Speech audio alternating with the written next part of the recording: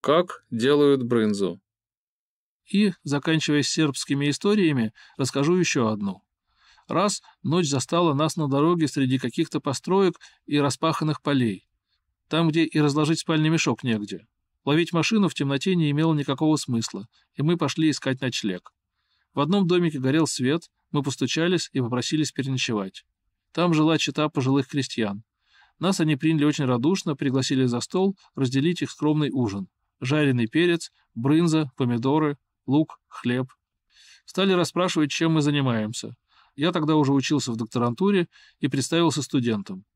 Слово это было им незнакомо, они попросили пояснить. «Ну, что-то вроде школьника», — говорю я. «Учусь разным вещам». Хозяева были поражены. «Как это может быть? Такой взрослый и еще школьник». «Я сам вот два года в школе учился», — говорит дедушка. «Сколько ж учишься ты?»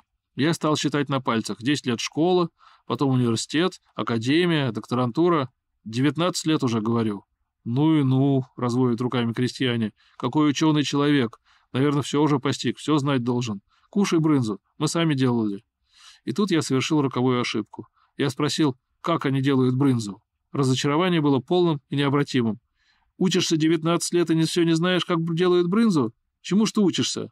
И зачем тогда так долго учиться?» Крыть мне было нечем. Со своей точки зрения они были совершенно правы.